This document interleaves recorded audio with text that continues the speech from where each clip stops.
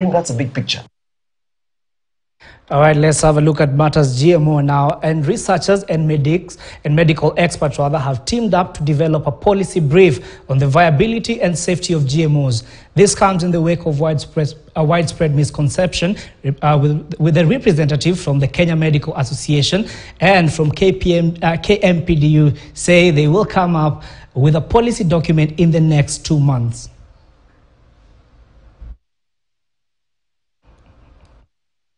In October last year lifted the ban on cultivation and importation of genetically modified crops that have been in place for over 10 years amid the worst drought in 40 years and soaring food prices. However, the executive order sparked mixed reactions with those opposed to lifting the ban citing health and safety issues and even seeking legal redress to stop the process which was to begin this month. Kenya Medical Association CEO Dr. Brenda Obondo. Well, research takes some time, but what we are going to guide with what already we have, the data that we have in the country, is what is going to guide the policy brief, right? The policy statement. And that from that policy statement, there are a number of also recommendations that we are hoping. And in fact, we are going to even through a, a challenge to NACOSTI to even support this multidisciplinary team to invest in this research, research, either if you're doing a longitudinal study or we're doing a retrospective study to actually look for those correlations and associations. The team resolved to ventilate on various health concerns raised around GMOs and, and possibly calm Kenyans' fears before drafting a policy statement for public information based on research and evidence that is currently available. We're not politicians, and neither are we students of politics.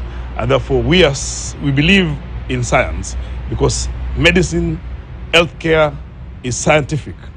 And science is based on facts and evidence. If you listen to the right voices, there's nothing wrong with the GMO technology as it is right now. If at any given point we'll encounter something that will not be good for our people and for us, we are not afraid because we're not being funded by any biotech company. We are here on our own volition to reassure the public and to say that prayer is good, but prayer with science behind it. According to Dr. Joel Ochieng, Kenyans have been led to believe that GMO technology has been imported and hence the resistance. He added that with the BT maize release, production is expected to go up from the current 2.8 million metric tons against the consumption of 4 million metric tons and therefore the deficit of 1.2 million metric tons which the country imports. When the BT maize goes to the farmers, the production levels will go up because it uh, restores yield that is normally damaged by the pest, the stem borer. So we look at this problem as temporary, and once we are allowed to deploy it in the farms, we are sure that part of food security will be improved. Professor Richard Oduor from Kenyatta University and council member of KUBICO assured Kenyans that for the last 18 years, research on GMO has been carried out by government critical institutions and therefore the public should know they will never be harmed in any way. As a result, we need the public to know that we are also Kenyans and we live in this country and we have no intentions of having, harming them. So from where I sit, I'm very happy that the data is here. Come ask those queries. We will be able, and if there is any concern that requires more research, we will be available to do this research.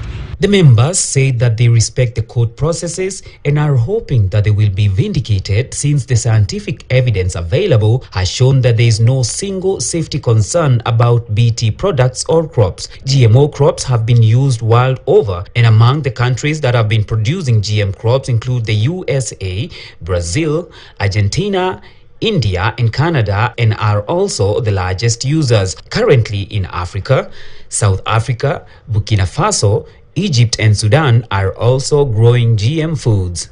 For KTN News, I'm Paul Thiongo. All right, and that story leads us now into our, the second part of this show, which is having a conversation around